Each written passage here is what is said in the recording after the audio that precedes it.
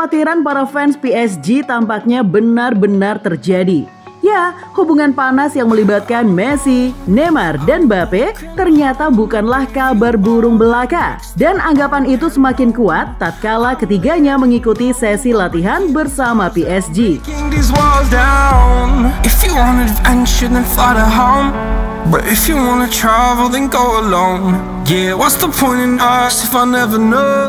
If you're gonna leave, I'ma let you go.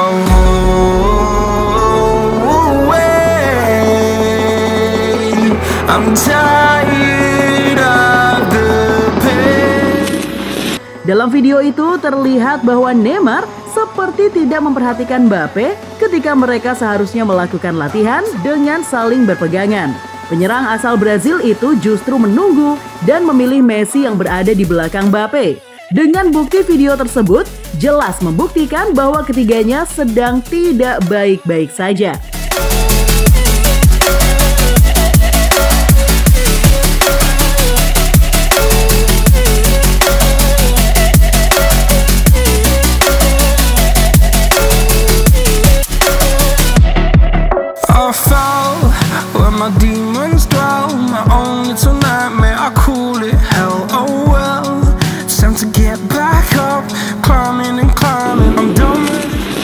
Banyak yang menganggap bahwa hal itu terjadi karena Mbappe memberikan statement bahwa kualitas pemain sepak bola Amerika Selatan tak sebaik Eropa. Tak hanya itu, Mbappe pun juga mengatakan bahwa ia ingin mendepak Neymar agar pergi dari PSG musim ini.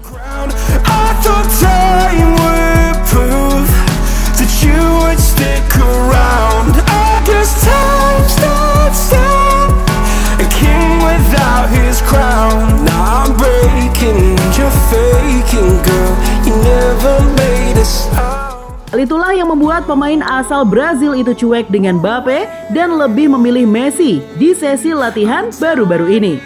Dan tentunya dengan masalah internal yang terjadi di kubu PSG akan mengganggu penampilan para pemain di atas lapangan nantinya.